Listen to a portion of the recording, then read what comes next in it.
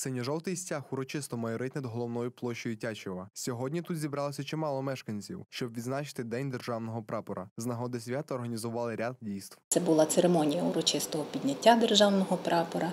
Це було покладання квітів до пам'ятника Героїв Небесної Сотні. Це було вшанування пам'яті загиблих воїнів, хвилиною мовчання.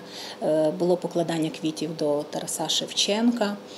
Е, Зокрема, іще буде сьогодні проводитися ряд тематичних заходів. Традиційного масштабного дійства не відбулося через воєнний стан. Проте відзначити велике свято українському народу ворог не завадить.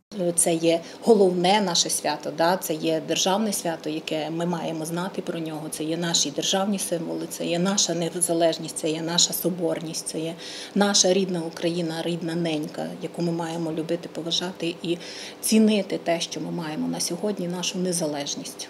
Синьо-жовтий стяг є важливим, сокровенним для мешканців Тячева, розповідають учасники урочистостей. У важкі часи сьогодення відзначення дня державного прапора є як ніколи актуальним. Ну, прапор це насамперед символ України. Без нього ну як ніяка країна не зможе.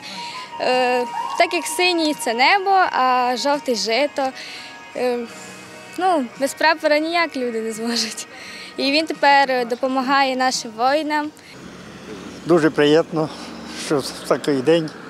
Лише шкода, що ця проклята війна, яку розпочали росіяни проти нашого народу. Це тільки святкуємо, хоч яке свято при війні. З нагоди свята в Тячеві організували ряд культурних заходів патріотичного спрямування, виставку вишиваних рушників, поетичний марафон та інші яскраві дійства.